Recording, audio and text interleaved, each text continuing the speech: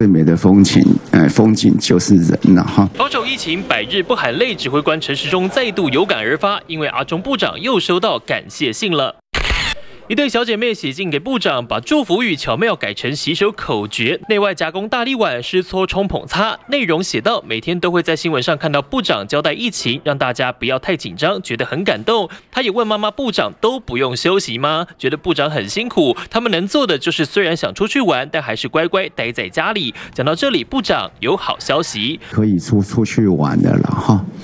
哦，那出去玩只要乖乖的哈，遵守。这对姐妹也送上一户存钱筒，希望他们陪着指挥中心，让大家心情变好。两个存钱筒里分别还有一千八百二十二元以及一千六百七十四元。陈时中表示心意收到了，钱会先退回去。这娃娃我大概也准备，就是说放在我的身边哈，我的书桌上放一个礼拜，那把它送回去。